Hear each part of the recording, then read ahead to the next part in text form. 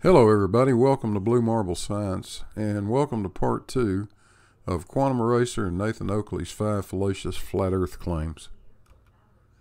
As we resume, Huey and Nathan are going to become surface to air missile experts, Coriolis effect connoisseurs, and empty headed space deniers. You know, the usual. Please note that facial and monitor damage alert remains in effect so keep those oven mitts on, keep the monitor back out of punching range, and Gladys,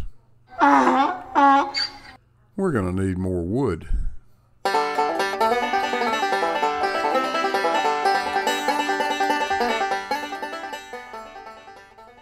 The next one, see, I really like this one because this sends the Baltards off the reservation. They lose their minds over this one, man. And I, I I really like it. I, I like this proof. Again, it's really simple once you break it all down. So it's the Navy Sea Sparrow missile. And specifically, it's the Evolved Sea Sparrow missile, and it's the Block 1. Okay? The Evolved Sea Sparrow missile Block 1. Now, here's a picture of it. Uh, a couple things here that I want you guys to recognize number one, in my calculations below, I have this is 80 feet above sea level. Now, listen, if this is if, if, if this contraption right here, which is the target illumination radar, we're going to get that here in a minute. If this target illumination radar radar is 80 feet above sea level, then I'm a mile mile fighter pilot because that's not 80 feet, but I used 80 feet for the calculations below. If that I'll tell you what, I would I would pretty much guess that's about 50 feet.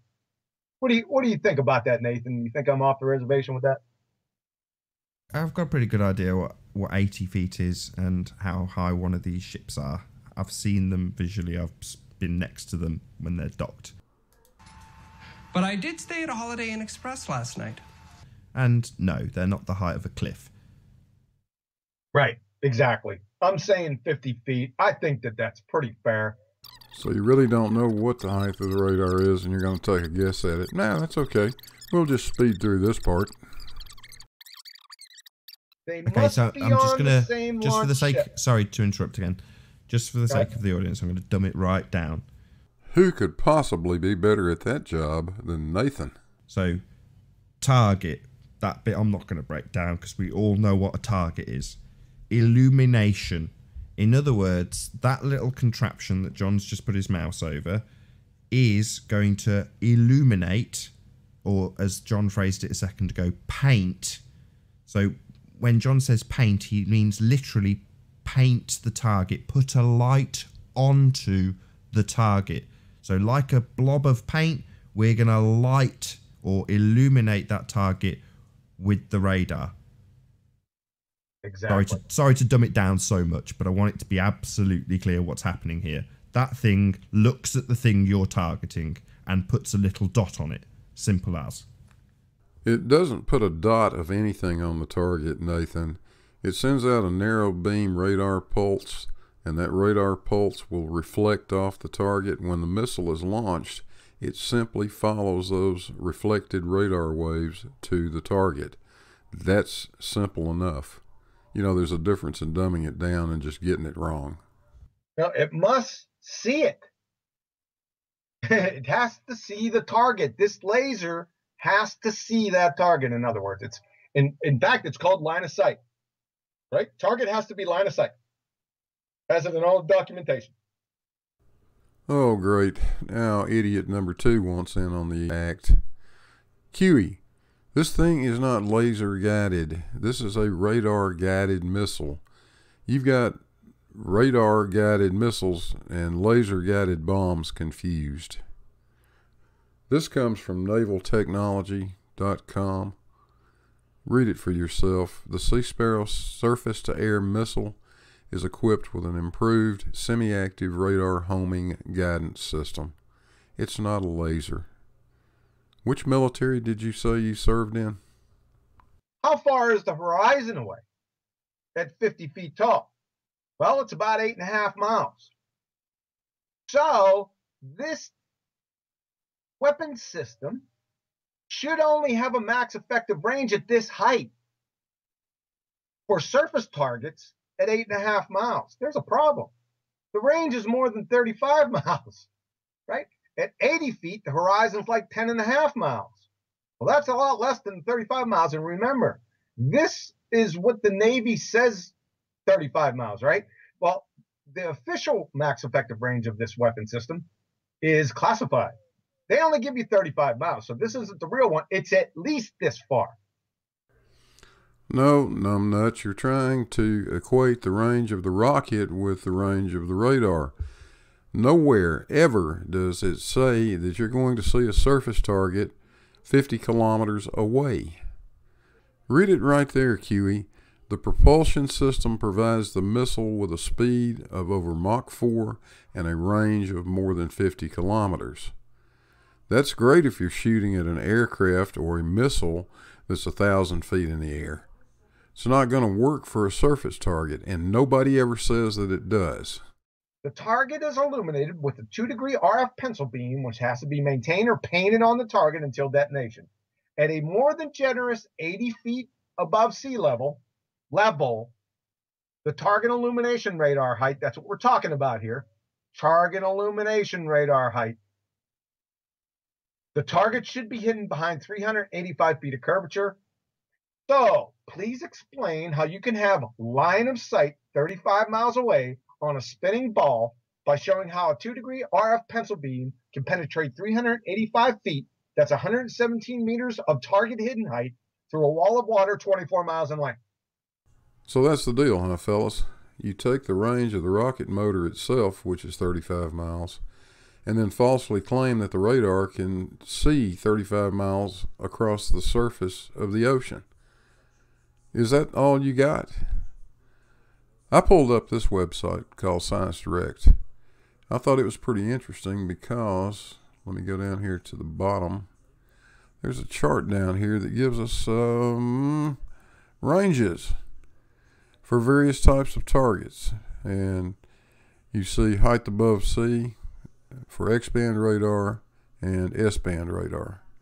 They've got shorelines listed. They've got really big ships, 5,000 ton ships. You can see 11 miles away, nautical miles.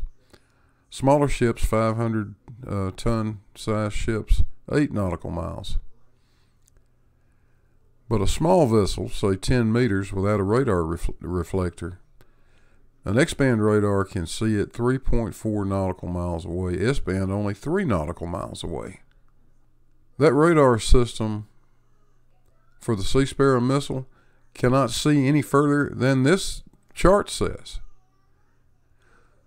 So I thought I'd find maybe something else that we could look at. Garmin makes marine radar, and they've got a nice video that talks about radar range. Listen to it. One more thing when most people are looking at buying a radar, they want to know its max range. Well, okay, our open array radars, for example, with their narrow beams and their focused energy, support display ranges out to 72 nautical miles. Now, does this mean you're going to see another boat 72 miles away? Regrettably, no. Marine radars have a horizon too, just like your eyes. You can calculate this distance by measuring the height of your radar off the water, taking the square root of that number and multiplying it by 1.22. As an example, let's take a center console boat with a T-top. And let's say the radar is 9 feet off the water to keep the math simple. Square root of 9 is 3, 3 times 1.22 is 3.66. The radar's horizon, its limit of sight, is 3.66 miles away. However, we also have to take into consideration the height of the target off the water. So, in theory, if your radar was looking at another center console that had an overall height of 9 feet, you could add another 3.66 miles to our distance for a total of just over 7 miles. The Navy never says that the Sea Sparrow missile can attack a surface vessel at 50 kilometers, nor does any reference. Garmin even gives you a brand new formula you can misuse that tells you what the radar range to the horizon is for a given antenna height. All you're doing is misrepresenting the range of the missile as the range of the radar to try to twist that to fit your narrative. I think we've heard about enough. Said, one of my favorite proofs. I don't bring this proof up to people uh, to Joe Blows and uh, uh, Betty Breadmakers. I just don't because they're so indoctrinated. The moment I say Coriolis effect to anybody, I know what they're thinking. Hurricanes. That's all they. I know that's what they do. They think of hurricanes. So I got to start off at, at at step zero. Try to get them out. We're going to talk about this hurricane fiasco here at the end, by the way. But I, I don't really bring this up to Joe Blows or Betty Breadmakers. Don't do it. Uh, it's it's a waste of time. But it's one of our favorite arguments, and it's really quite simple. So again, for the Coriolis effect to exist, you must have that is necessary condition. Must means necessary. Two different frames of reference. One rotating coordinate system that's non-inertial, that's the Earth, and one non-rotating coordinate system inertial, that's the atmosphere and everything in it. From Segar Douglas, Introduction to Ocean Sciences. This is a university level textbook. The Coriolis effect. When set in motion, freely moving objects, including air, that's atmosphere, and water masses, clouds, of water vapor, move in straight paths while the Earth continues to do what? Rotate independently. Here's your citation, QE, unedited. It says when set in motion, freely moving objects, including air and water masses, move in straight paths while the Earth continues to rotate independently. No place in there does it say atmosphere or clouds or water vapor. You added that stuff. Now, what are you trying to do, QE? Mislead people? Sorry, that was a rhetorical question. Because freely moving objects are not carried with the Earth as it rotates, they are subject to an apparent deflection called the Coriolis effect. To an observer rotating with the Earth, freely moving objects that travel in a straight line appear to deflect, to travel in a curved path on the Earth. Why do they appear? Well, because you're on the rotating coordinate system. The object that's appearing to curve is not. That's why it's appearing to curve. So, A, what's rotating? Well, the Earth's rotating, according to their narrative. And B, what's moving independent of the rotating Earth? Well, the atmosphere. Not no, QE. Hell no. Now we see why you were so desperate to substitute the word atmosphere for air masses. The atmosphere does not move independent of the rotating Earth. The atmosphere rotates with the Earth, you dummy. So go ahead now and tell us about airplanes flying east, moving faster than airplanes flying west. Can't wait. And every freely moving object in it. That's bullets, planes, balloons, anything not tethered to the earth. Freely moving objects, like I said, are not carried with the earth as it rotates. So, taking all that into account, if the Coriolis effect is true, and it is, see the merry-go-round and the ball, We've already done this multiple times. I've even pulled up Wiki and showed everyone this little deal right here. And you can do it on your own. Go to a playground and do it on your own. Then it's necessary conditions A and B from above. These two conditions A, the Earth's rotating, the atmosphere isn't. It must be true. So if A and B are true, then a flight from Charlotte, North Carolina to Los Angeles nonstop, traveling at 500 miles per hour airspeed, with both locations roughly at the 35th degree north latitude. That is, they're both allegedly spinning at roughly 860 miles per hour, should be approximately 1.5 hours. This argument is so ridiculous, QE, it doesn't even deserve a response. And you know, if you weren't dumber than a tree stump, you would know that. But on the other hand, maybe you do. Maybe that's why you substitute your words for the words in your citations.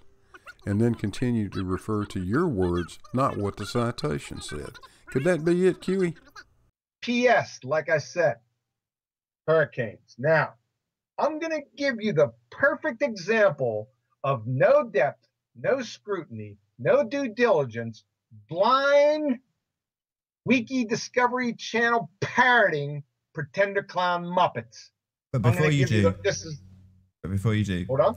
I just want to get Yep. everyone on the same page. You're despicable. Yes, he is, and you'll find out just how despicable in part three when we finish up the Coriolis effect and how that influences our atmosphere and storm systems, and then move on to gas pressure in an open system. Well, that's the end of part two, folks. It's going to go a little bit long if we go any further. So I want to thank you for watching. I hope you enjoyed it. If you did, please hit the like and subscribe buttons. They're right down there under the little red arrow. And we'll catch you guys on the next one. Hey, Gladys. Uh-huh. We're out of here.